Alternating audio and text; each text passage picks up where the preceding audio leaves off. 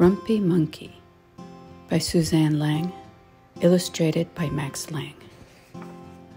One wonderful day, Jim Panzee woke to discover that nothing was right.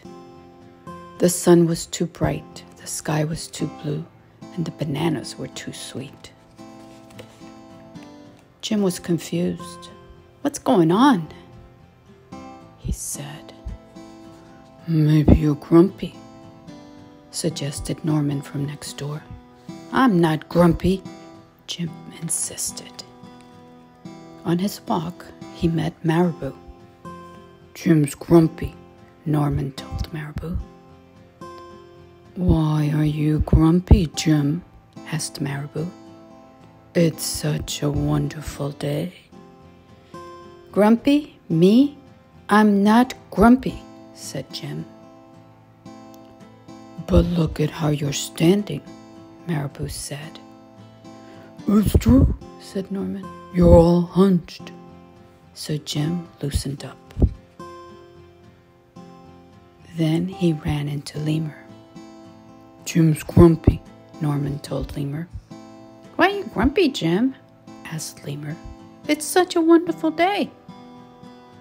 Grumpy? Me? I'm not grumpy, said Jim. Your eyebrows look grumpy, said Lemur. It's true, said Norman. They're all bunched up. So Jim raised his brow. Then he tripped over Snake. Oh no, said Norman.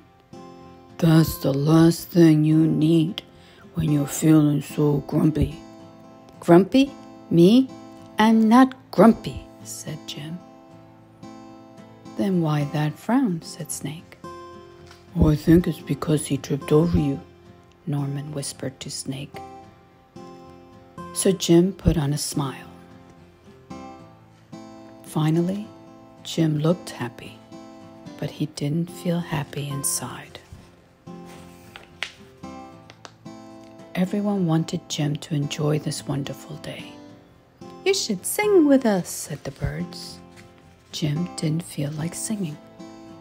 You should swing with us, said the monkeys. Jim didn't feel like swinging.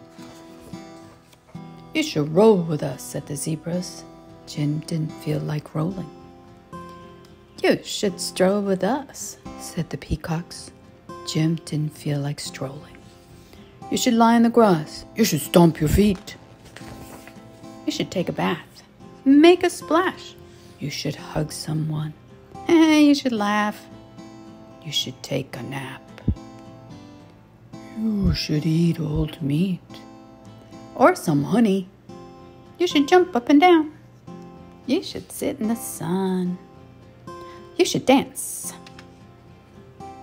But Jim didn't feel like doing any of that. Why are you grumpy, Jim? asked the others. It's such a wonderful day.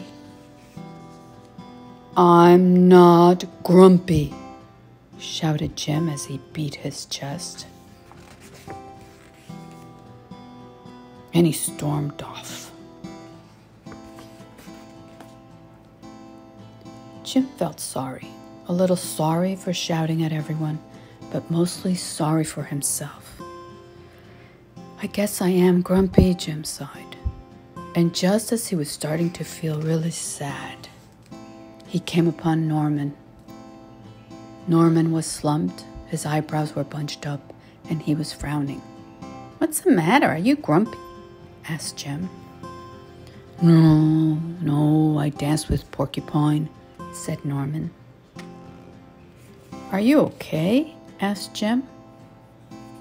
It hurts, but I'll probably feel better soon enough, said Norman. Are you still grumpy? Yes, said Jim, but I'll probably feel better soon enough too. For now, I need to be grumpy. It's a wonderful day to be grumpy, said Norman. Jim agreed, and he already felt a little better. The end.